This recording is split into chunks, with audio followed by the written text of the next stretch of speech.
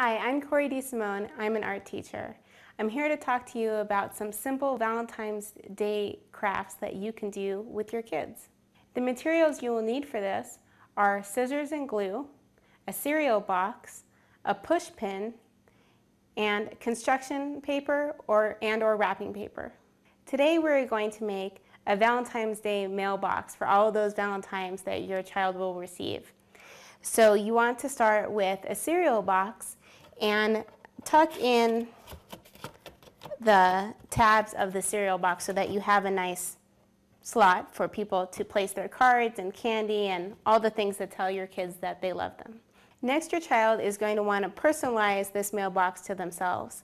A good way to do that is to either wrap the whole thing with wrapping paper and then add extra decorations to it, or in this case, we're going to use a couple of pieces of construction paper and cover the front of the box.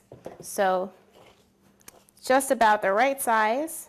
It's okay to leave it a little bit long like this because then we can fold it in later and secure it to the top. So after you've measured the size that your paper needs to be and you've decided how you want to decorate it, we're going to go ahead and place that decorated paper on the front of your box. So today I decided to use two different construction paper colors. I used the white and the red, and then to hide the seam, I ran a, a bunch of um, blue hearts that I cut out and placed along the seam.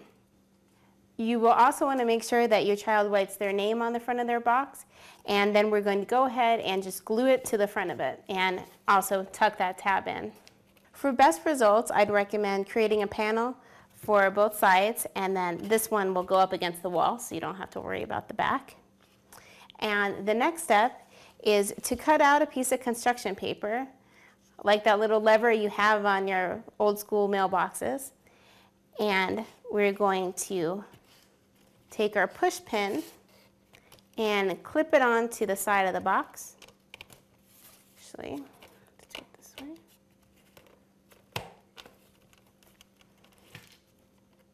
So when somebody wants to place an invitation or a Valentine's in your child's mailbox, they will lift up the lever to say, ready for the mail to be taken.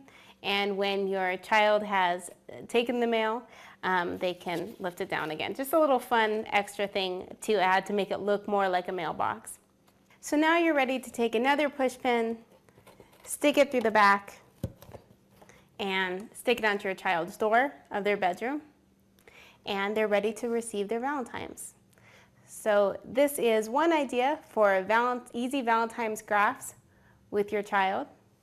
And my name is Corey DeSimone. Thank you for watching.